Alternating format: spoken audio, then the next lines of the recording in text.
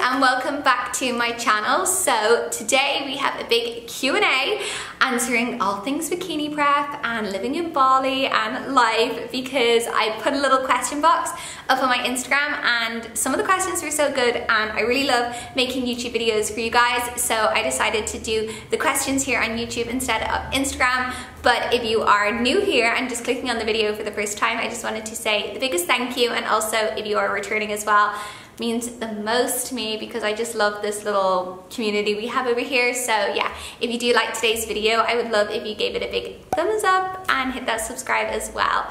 But like I said, I just wanted to answer these questions for you guys because I thought they were super valuable and just, yeah, really grateful that they were sent over because I feel like they can definitely help. And I love watching people's Q&As because then you're like able to relate to people or you get inspiration. And I know I don't live like the most normal of lives because I live in like Bali, which is like very random. But yeah, maybe you want to come and I can answer questions or you're prepping for a show or thinking of it, or maybe just want to lose weight, then this video I feel will will be able to bring you some value or just some entertainment. So yeah, let's just get started with the questions because they, there's a lot of them and they're really great. So where to start, where to start. Okay, some of them are also very personal as well about like love and different things. So I'll answer this one first. How did you get into competing? So I don't know if I've ever told this story here on YouTube and if you are a first time competitor or thinking of it, like this is just how I personally got into it. So I was in a really funny place with my body image and what I thought of myself and I was really struggling.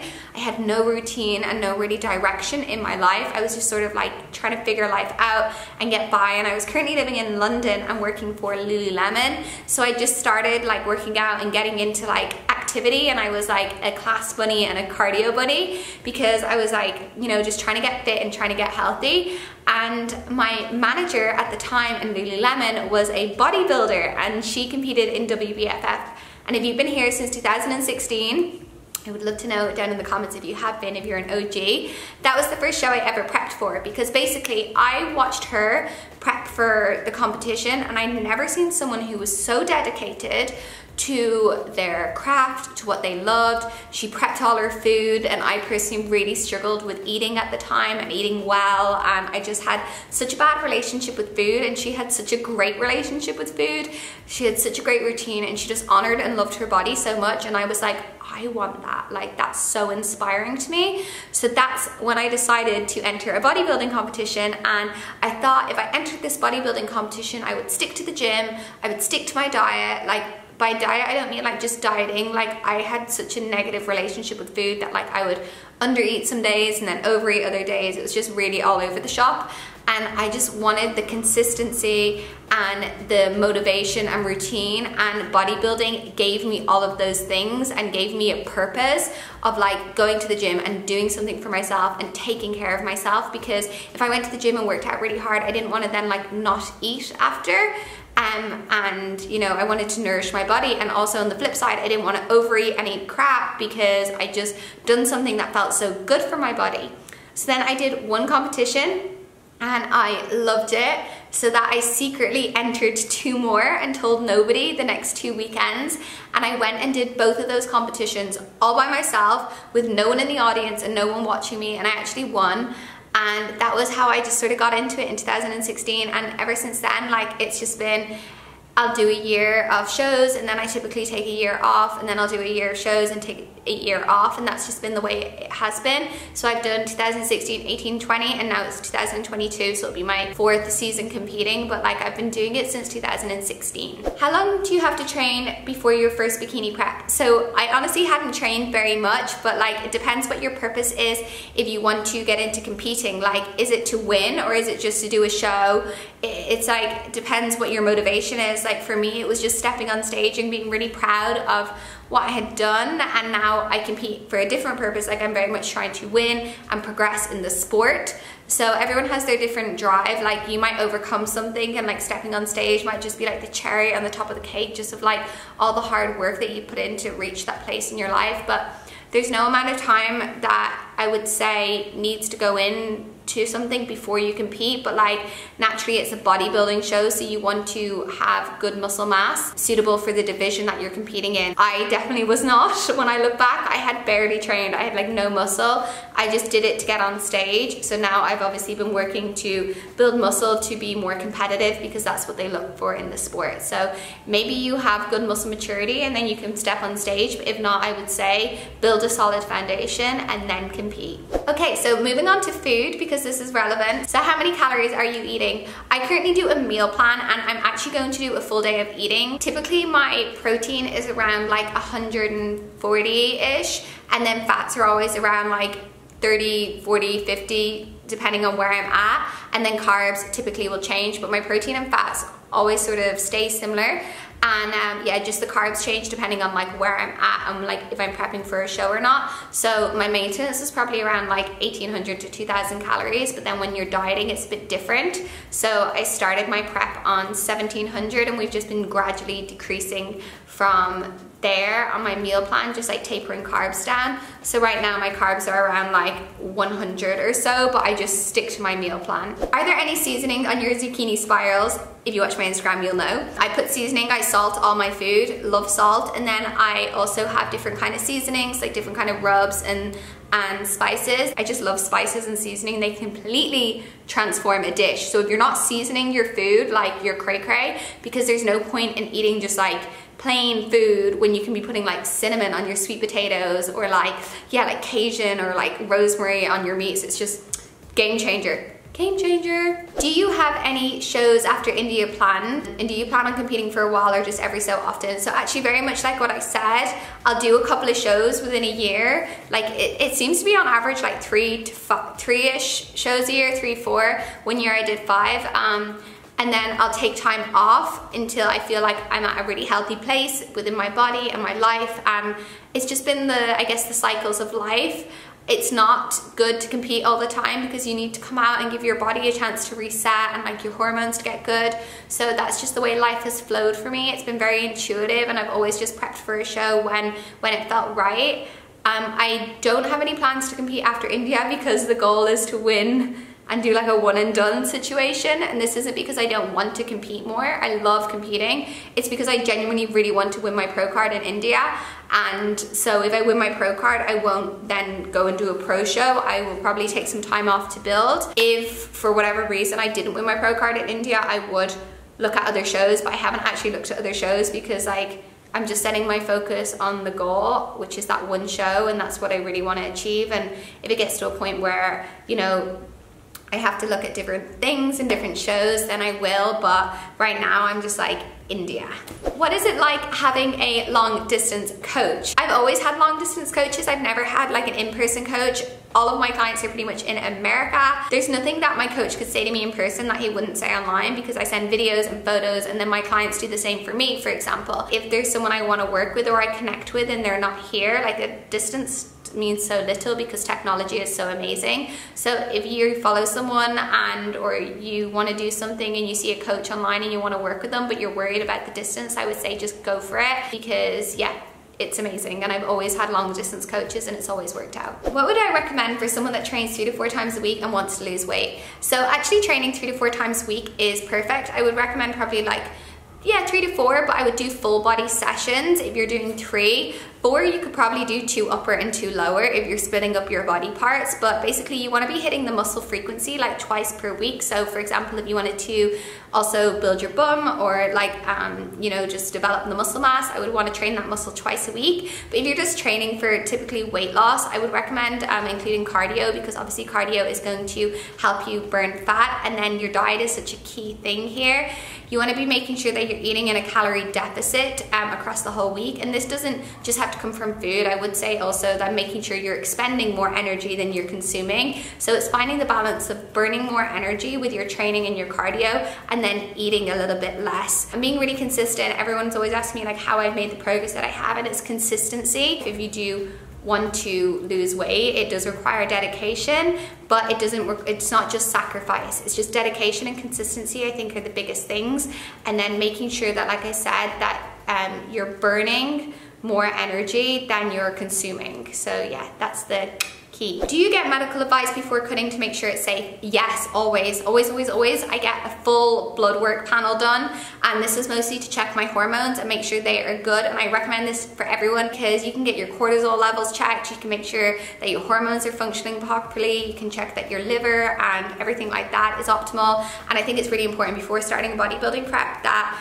if you're putting your body under more stress because you're eating less and doing more cardio, that you're healthy. And obviously, you know, your hormones can be lowered and your cortisol can be increased, but it's how you mitigate those things and like take care of them. So if you saw my video a few videos back, I did a full supplement routine and this is because like I really value supplementing my body when I am eating a little bit less. I make sure to take things that support stress in the body. So like nootropics, ashwagandha, holy basil leaf, just different things that I know if my cortisol is gonna be increased, that I can really take care of the inflammation and the stress in my body. And then I obviously try and look after my hormones as much as possible. I have salmon in my diet every single day because obviously omega-3s are really good. And then I look after my gut health as well with the probiotics. So always say if you're gonna do something like a cut, like get your blood work done and make sure your body is in a good position to do so because you don't want to like add fuel to a fire. Okay, let's move on to some life questions. Would I marry uh, someone younger than me?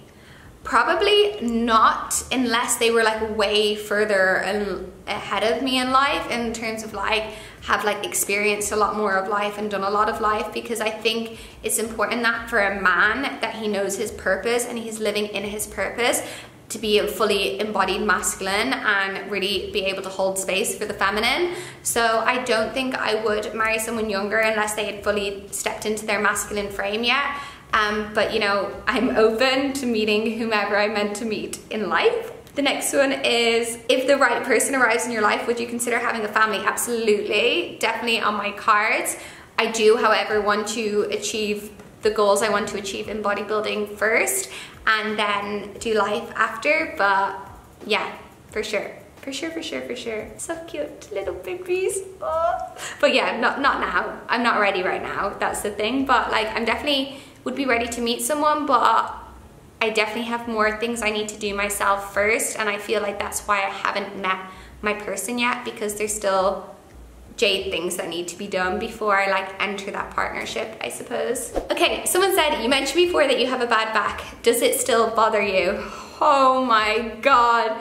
I think I don't share a lot of like the lows in my life on YouTube and maybe I'll talk about it. I, am not one of those people that's like a vic, like I think of like myself as a victim or I dwell on the negativity.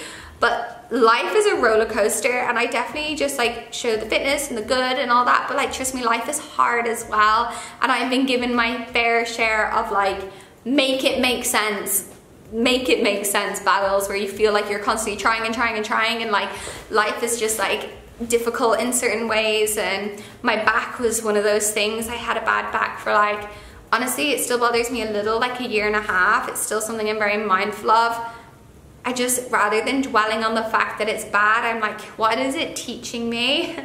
Um, what can I learn from this experience? And I do believe a lot of injuries and, and things that happen in the body aren't just like injuries as such, like it's our body's way of communicating with us. And um, a lot of our emotions and our trauma and stuff is stored in the body as well. And I feel like it's just this constant like healing journey that I'm on. And my back was just a part of that healing journey but I'm still doing the work on it basically. Um, I saw a healer last week for it but it's definitely moving in the right direction.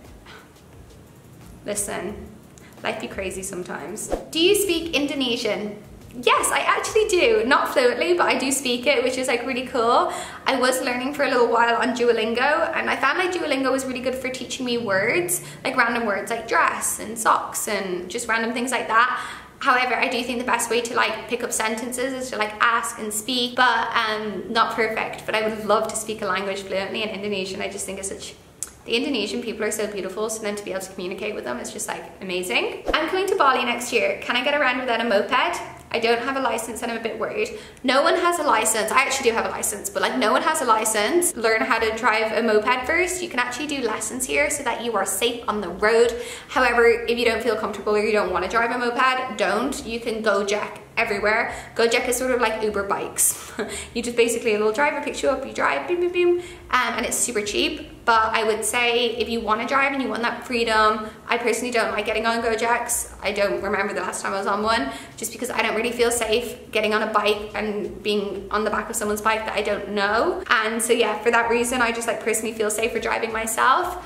But if you don't want to and you don't feel safe driving, you don't need to drive here. I got another two prep questions here actually, which I think are good. Easiest way to prep and know what to prep to eat healthy or how to calculate calories. I have a guide on my website and it has a little like macro breakdown thing in it, but you can just like Google macro calculators and get an average, but the best way to calculate your macros is just through trial and error. So, you know, you can see how you feel, you can see what your hunger levels are like. I always say for your body weight, you should do around like a pound to a pound point two um, a gram per pound of body weight and that's a good way to work out your protein and then you can obviously work out your fats and your carbs around it that's why also having a coach is really good but you can find macro calculators online I find for like women between like 40 to 70 grams of fat is like on average and it also depends on like um, someone's preference. So do they prefer fats? Do they prefer carbs? Because that's what changes because there's no set macros that will just work for everyone. And also as your body changes, your macros might adapt. So I find that as I get leaner and leaner and leaner, my carbs actually start increasing once after they've decreased. So it's sort of like this, I, they decrease them to get leaner. And then as I get really lean, I almost have to increase them because then my body just like starts using them up. But it's, it's all trial and error and working with a coach if you're unsure. And then when you, once you you learn the tools and you learn how your body works, then you might not need a coach because you might be able to do it yourself. But yeah, I would try maybe a basic macro calculator online to start off with. I think there's some on bodybuilding.com or like I said, work with someone. I actually think Christian Guzman has a really good YouTube video on it. And then I really like this one as like an ending one when prep is over, do you experience any guilt or anxiety about eating normally again? No, because during the preps, I always include the foods that I like. So for example, if you watch any of my other preps, like I always had dark chocolate every single day because I loved chocolate. Like even on show day, I was eating dark chocolate because I had it for breakfast with my breakfast every day just because I loved it. So that when I finished prep, I wasn't like craving chocolate because I'd had it the whole time, right? And um, this prep was a little bit different, which I'll open up about just because I have been experiencing a lot of food allergies. Literally, this is what I mean. Sometimes I'm like, what the heck, life? Make it make sense. But yeah, I just eat all the foods I love. So I have oats in my diet because I'm really loving oats right now and rice, just like foods I like. And then I don't want to go crazy. It's finding the balance of still remaining like as someone who is a personal trainer and in the fitness industry and is a sponsored athlete, right? That I have to maintain like fitness is still important to me and eating healthy is still important to me, but then I can still go out to restaurants and get dessert with friends once or twice a week if I wanted and not feel guilty about it. But it wouldn't be normal to go off the rails and just binge like seven days a week or have dessert every single day because I don't feel like that's um, in alignment with what's my truth right now, right? So it's all about making sure that you're living in alignment with what's true to you. And it would feel not true to me if I was eating desserts every day, and this wouldn't be because I feel guilty about eating the desserts and what I'm actually eating, it would be more about this like, it's not what I believe, right? So it's out of alignment. And um, yeah, I definitely, the further out of shows I get, the more relaxed I become around um, just eating out and enjoying, you know, normality, but I still am very true to myself. So like, I don't, crave fried food very much. I prefer like eating fresh, healthy, abundant, natural food. And then of course treating myself on occasion to cookies that are still gluten-free and vegan because it's like that balance, right? So yeah, it's always about finding the balance post-show with your truth because obviously you care about fitness and stuff because you're competing and then also, you know, still being able to not feel like restricted because you do restrict it's obvious you do restrict the other things such as like cookies and cakes and stuff on prep because they don't serve the goal. Of course, I could eat a slice of cake every single day on prep and it fit my calories, but then the rest of my food would be poverty and um, yeah, it's not as optimal as something else. So yeah, when after show, it's just finding the balance and that's important. But I hope this has answered some of your questions. You've got to know me a little bit more and you enjoyed spending the last like 20 odd minutes with me. I just love sitting down and chatting with you guys and I know it's obviously not as like maybe as exciting as like watching a vlog and running around and stuff but also I just feel like I can be authentically me and really connect with you so that means a lot as well. So I hope you have enjoyed today's video. If you haven't already, if you're watching this and you haven't hit that like button, please hit it. Leave a comment if you made it to the end and I will see you guys in the next video. Bye guys.